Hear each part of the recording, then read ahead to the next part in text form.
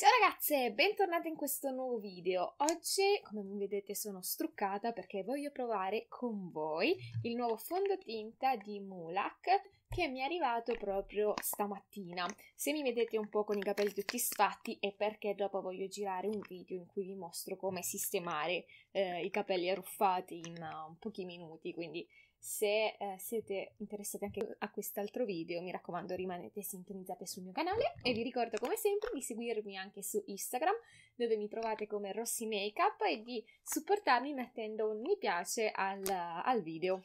Allora, torniamo al fondotinta. Il fondotinta Slay the Game è eh, il nuovo fondotinta di Mulak, per chi non lo conoscesse, non so se esiste qualcuno che non lo conosca, comunque è la, il nuovo brand, brand, di una famosa youtuber, eh, la Sindina, che eh, esce con tutti questi prodotti di make-up, devo dire abbastanza buoni, almeno mm, per tutti i prodotti che ho provato fino adesso del brand che mi sono piaciuti molto, quindi non ho resistito e siccome è un brand che amo molto, ho deciso di acquistarlo subito e provarlo senza vedere alcuna recensione ehm, perché devo dire che è veramente un brand di cui mi fido, non so, penso che Cindy eh, sappia il fatto suo per quanto riguarda eh, la scelta del, dei prodotti giusti anche all'interno della sua linea. Comunque, ritorniamo a noi. Il fondotinta è un fondotinta in stick mio, la mia colorazione, o almeno quella che ho preso e spero sia giusta, è Norma J, la 03, è una colorazione neutra. Penso che la prima e la seconda siano un po' troppo chiare, perché la prima è chiarissima, rosata, e la seconda è chiara, però gialla. Io un sottotono più che altro che vira al rosato, neutro rosato, quindi ho deciso di prendere questa 3. E guardate che bello che è il packaging, come tutti i suoi prodotti, opaco da una parte e dall'altro con questa decorazione eh, lucida, damascata, non so se si dice così. E poi eccolo qui. Eccolo qui il fondotinta in stick. Tra l'altro ha un profumo buonissimo, come se fosse di lecca a lecca ai frutti di bosco, la fragola, non lo so, è veramente buono.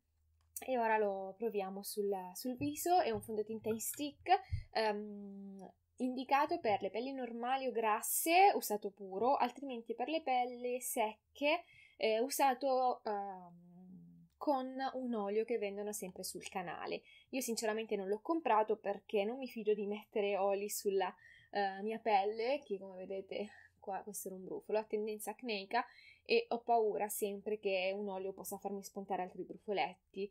Uh, magari poi non lo fa, però in linea di massimo in genere tutti i prodotti comunque ricchi di oli purtroppo me li fanno spuntare e cosa fondamentale che non vi ho detto, il prodotto è stick ed è naturale, quindi fatto al 100% con ingredienti naturali, quindi sono molto curiosa della sua performance. Allora, sto usando solo la luce naturale, spero che si veda bene, perché altrimenti se devo accendere quella mm, non naturale è troppo finta. E vediamo un po' com'è con questa luce naturale e iniziamo subito con la stesura. Lo applico direttamente un po' sul viso così. E poi eh, lei ha creato la sua spugnetta, però non era disponibile quando eh, ho acquistato il fondotinta, cioè qualche giorno fa. Uh, ma uh, io uso la mia Beauty Blender, non è proprio Beauty Blender, questa è una versione economica di H&M che si trova da H&M a 2-3 euro e con cui devo dire che mi trovo abbastanza bene. L'ho bagnata e asciugato un pochino, adesso inizio a prendere il fondotinta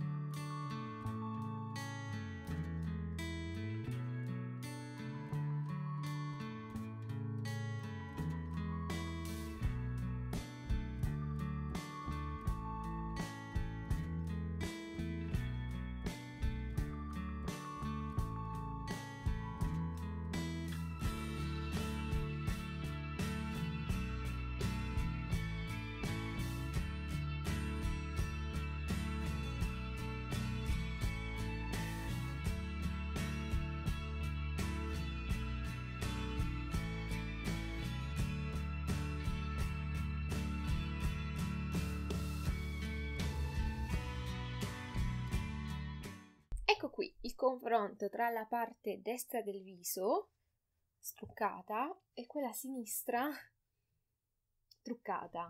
Beh, devo dire che in video sembra proprio bello. Eh, sicuramente questi fondotinta in stick rendono tanto nelle foto e non sembra neanche che si veda moltissimo. Eh, non so in realtà quanto sia a eye coverage, come dice, perché comunque mm, la pelle rimane trasparente sotto, non è una copertura mascherone, però sinceramente io lo preferisco così perché non necessito per la mia pelle di, di coperture altissime e mi piace comunque che um, la pelle abbia una, una mi piace comunque che la pelle abbia un aspetto umano, per esempio col fondotinta di MAC um, lo studio finish non, non, mi sono trovata per niente bene, non mi è piaciuto, a parte che mi ha fatto venire un sacco di brufoli, mm, non vedevo la pelle, non, non, mi piaceva come effetto, mi sembrava troppo finto. Ecco, questa è la differenza con le luci artificiali.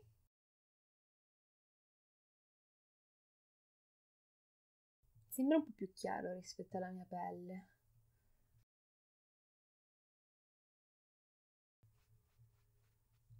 E ora vi faccio quest'altra parte del viso e la faccio con la ring light, quindi con la luce artificiale. Allora metto un po' di fondo, faccio così.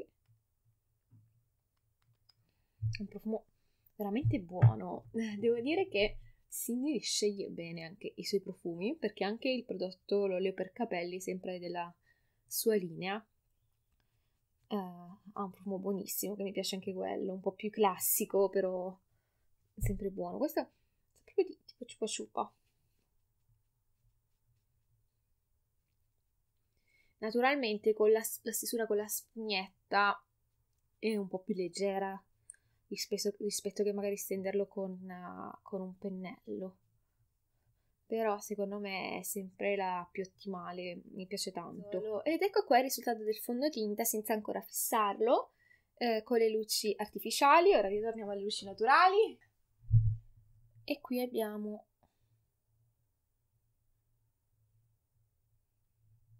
la luce naturale e visto che ho anche la cipria, ho comprato anche la cipria della stessa marca, ero curiosissima di provare, correggo un po' le occhiaie e questo profumetto qua ancora un po' si vede purtroppo, però è una macchia allucinante. Correggo un po' le occhiaie e eh, rit- vi faccio vedere anche come si applica la cipria. E adesso um, continuiamo, andiamo a mettere la cipria.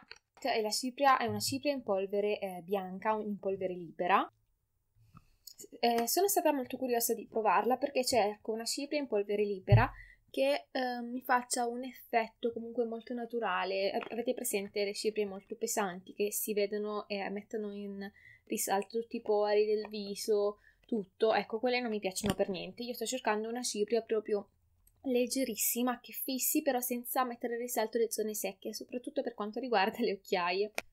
Il packaging è così, si apre, c'è lo specchietto, c'è una un batuffolino qui, una spugnetta e poi qua ci sono i buchini. Effettivamente ho visto in un video che come si fa a prendere questa cipria, essendo che il coperchio è incorporato, secondo me è un po' scomodo. Bisogna fare in modo che la cipria non fuoriesca troppo da questi budini. Oddio, ecco, mi sono buttata tutta addosso. Come non detto, iniziamo bene. Anche questo è un profumo di non so cosa. Comunque la prendiamo, già mi sono, guardate. Vabbè, Proviamo a fare il baking, come dicono loro.